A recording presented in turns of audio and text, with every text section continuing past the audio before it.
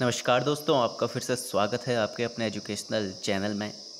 दोस्तों, आप लोगों के सपोर्ट को देखते हुए मुझे काफ़ी खुशी हो रही है और मैं आप लोगों के सामने आज फिर से एक और पीआरटी जनरल एप्टीट्यूड का टेस्ट लेकर आया हूँ। और उम्मीद करता हूँ आपको ये जनरल अवेयरनेस का पेपर जो है चाहे आप पीआरटी का दे रहे हो पीजीटी का एग्ज़ाम दे रहे हो टीजीटी का, क्योंकि ये तीनों के लिए सेम रहता है पार्ट ए तो ये तीनों आपके लिए इम्पोर्टेंट है जो किसी भी सब्जेक्ट की तैयारी कर रहे हैं। टीचिंग एग्ज़ाम से संबंधित। और आप लोगों से ये भी कहना चाहूँगा कि पैसेज की हम बात कर रहे थे, कुछ कमेंट्स आए थे तो पैसेज का मैं आप लोगों को एक वैसे तो बहुत सारे वीडियोस मेरे इसमें बने हुए हैं कि कैसे आपने सॉल्व करना है पैसेज को। फिर भी आज मैं फिर से आपके सामने एक पैसेज को लेकर आया हूँ कि हम, आपको कम से कम एक मोटा मोटा आइडिया आ जाए एग्ज़ाम शुरू होने से पहले कि जो आपके पेपर का पैसेज आएगा वो किस तरह आएगा? पेपर का जो पैसेज है, उसका लेवल कोई बहुत ज़्यादा टफ नहीं होता दोस्तों। तो बहुत सिंपल वे में वो आता है और सिंपली उसके आंसर्स भी होते हैं। तो चलिए हम देख लेते हैं इसको। ठीक है? क्योंकि ये पैसेज मैंने इसलिए लिया कि स्वामी विवेकानंद जी जो हमारे एक तरह से कह सकते हैं कि लीडर रहे हुए हैं, ठीक है, शिक्षा के क्षेत्र में ख़ास तौर से। और उनका, मेरे एक तरह से कह सकता हूँ कि अपनी लाइफ का मैं उन्हें हीरो मानता हूँ। तो उनका पैसे जहाँ पर आता है तो मैं ज़रूर उसको पढ़ता हूँ तो चलिए देखते हैं स्वामी विवेकानंद जी के ऊपर ये passage Swami Vivekananda had said so long as the millions live in hunger and ignorance I hold every one traitor who have been educated at their expense not the least uh, heed to them.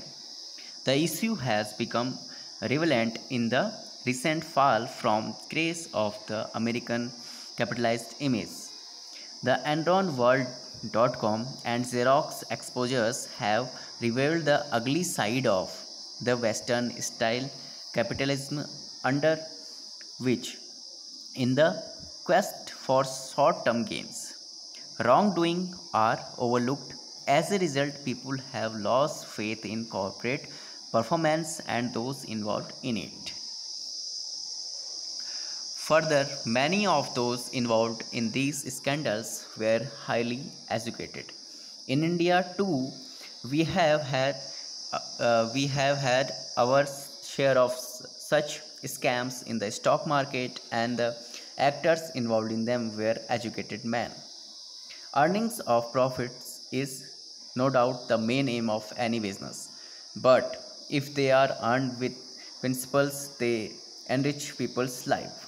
As the Jagat Guru Sankaracharya says, all for each and each for all should be the motto of enlightened man. J.R.D. Tata used to say, while prof- uh, profit motive no doubt provides the main spark for any economic activity, any enterprises which is not motivated by consideration of urgent service to the community when we talk of investing in education, a question arises as to what kind of education needs to be given to the youngsters. Our aim is to evolve not only an affluent society but an uh, egalitarian, just, humane, and compassionate society. For what we need people who possess not only high skills but high values as well. So, the need of the our hour is not only skill based education but also value inspired and value based education. We can find answers to present sickness in contemporary civilization in the Indian philosophy. तो इस तरह से दोस्तों ये passage आपने ध्यान से देखा होगा अगर नहीं देखा तो इसको दोबारा से देखिए अच्छे से कि इस पैसेज में क्या कहना चाह रहा है अगर आप एक बार और उसे रीड करेंगे तो अपने आप समझ में आ जाएगा पहली बार मुझसे अगर आप जुड़ रहे हैं तो मैं आप लोगों को बताना चाहूँगा, मैं अपने स्टूडेंट्स को बताता रहता हूँ कि कभी भी आप पैसे सॉल्व करें तो एक बार उसे थॉरली पढ़ लें, फिर उसके बाद आंसर्स में जाएँ क्वेश्चंस में जाएँ और उसके बाद उससे आंसर सर्च करें। एग्ज़ाम टाइम में एकदम इससे ज़्यादा नहीं कर सकते, लेकिन प्रैक्टिस आप जब आप कर रहे हैं तो उसके उस समय आपके पास टाइम होता है तो आप एक दो बार पैसेज को अच्छे से पढ़ लीजिए, उसका सार समझिए कि हाँ इसके आंसर क्या हो सकते हैं तो और एक बार में सही उत्तर देने की कोशिश कीजिए। ठीक है? तो यहाँ पे ओवरऑल जो बात की गई है, शिक्षक और व्यवसाय की बात की गई है कि ऐसी शिक्षा देनी है जो केवल व्यवसाय को अच्छा करने या केवल व्यवसाय को बढ़ाने के लिए ना हो किसी व्यक्ति के तो लेकिन उसमें उसके अंदर जो एक मानवता की भावना है, वो भी रहनी चाहिए। तो स्वामी विवेकानंद जगत गुरु शंकराचार्य और जे आर डी टाटा के एग्ज़ाम्पल्स यहाँ पे दिए गए हैं। तो चलिए इसके बाद हम कुछ क्वेश्चंस देखते हैं और फिर कोई आपके कमेंट हों इस पैसे को लेकर और पसंद आए तो ज़रूर बताइएगा। चलिए शुरू करते हैं क्वेश्चंस तो फ़र्स्ट क्वेश्चन है according to the author a true businessman should author के अनुसार एक जो सच्चा व्यवसायी है, उसका वो कैसा होना चाहिए? Conduct business with principles despites making losses run business profitably and ethically earn profit regardless of any consideration none of the above यहाँ पर जो सही उत्तर होगा run business profitably and ethically जी हाँ एथिक्स भी उसमें मौजूद होने चाहिए तो बी इसका सही उत्तर हो जाएगा। नेक्स्ट क्वेश्चन देखते हैं। और देखिए, यहाँ पे पहले जो है, इस तरह से पैसेज आते थे। ठीक है, पैसेज को बार बार दिया जाता था। ठीक है, वो अब नहीं आएगा, पैसेज एक ही बार आएगा और क्वेश्चन होंगे। चलिए नेक्स्ट क्वेश्चन देखते हैं। The author has given the example of Enron Xerox etcetera to emphasis the point that किस पॉइंट को बताने के लिए? जैसे हमने पैसेज में पढ़ा कि एनरॉन जेरोक्स डॉट कॉम इस तरह के जो वर्ड हैं, वो क्यों यूज़ किए गए हैं? The western style of capitalism in is advantages we should get involve in long term gains overcoming short term gains is not desirable और नॉट तो यहाँ पर पहला ही उत्तर सही है दोस्तों. The western style of capitalize in advantages और एग्ज़ाम में समय बचाने के लिए अगर आपको पहले ही सही उत्तर मिल गया है तो उसको सीधे से क्रॉस कीजिए और नेक्स्ट क्वेश्चन में बढ़िए क्योंकि टाइम लिमिट भी आपको ध्यान रखनी पड़ती है। चलिए अगला प्रश्न देखते हैं। एच पर Swami Vivekananda which of the following would be the most appropriate definition of traitor तो उनके हिसाब से ट्रेटर की सबसे um, जो मेन डेफिनेशन uh, है वो क्या होनी चाहिए? जैसा कि दोस्तों आप अगर बैल सुन पा रहे हैं तो आपको पता होगा कि मैं थोड़ा सा स्कूल के ही पास में रहता हूँ। तो थोड़ा सा डिस्टर्बेंस जो आवाज़ में जो आप लोगों को लग रहा है तो थोड़ा सा उसको भी एडजस्ट कीजिएगा और हो सके तो ईयरफोन आप लोग यूज़ करके सुन सकते हैं। ठीक है?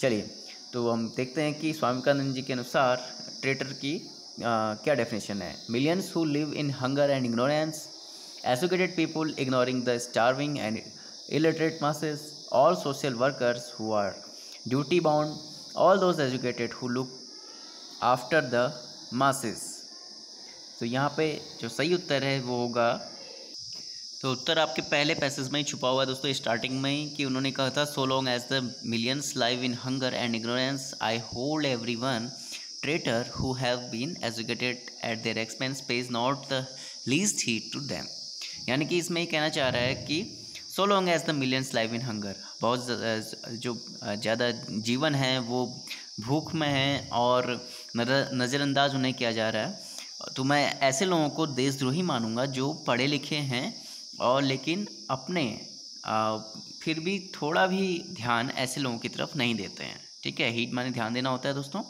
और ट्रेटर हो गया देशद्रोही। तो देशद्रोही किन्हें मानते थे वो? तो आपको अब उत्तर मिल गया होगा educated people ignoring the starving and related masses तो B is the right answer so so इसके लिए पैसेज वो करने के लिए आपकी वोकेबलरी भी स्ट्रॉन्ग होना बहुत ज़रूरी है, ठीक है? और पैसेज की जितनी ज़्यादा प्रैक्टिस करेंगे, उतना आप लोगों के लिए अच्छा रहेगा।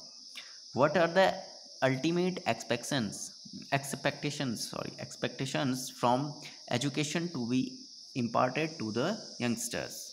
तो यंगस्टर्स को कौन, कैसी एजुकेशन देनी चाहिए और उसके क्या, आप परिणाम चाहते हैं? To evolve an affluent society to make people inculcate high values to help youth acquire higher skills so तीनों यहाँ पे सही उत्तर हैं A B and C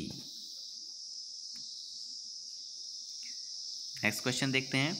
What according to author is a way to improve the evils in the society ठीक है? जो बुराइयाँ हैं उनको आ, कैसे इम्प्रूव किया जा सकता है? Skill oriented education contemporary education as in the western countries high value based and skill based education teaching of Indian philosophy so passage के लास्ट में देखिएगा so the need of hour of the hour is not only skill based education, but also value, inspired and value based education. So यहाँ पर right answer है हमारा third high value based and skill based education next question देखते हैं दोस्तों।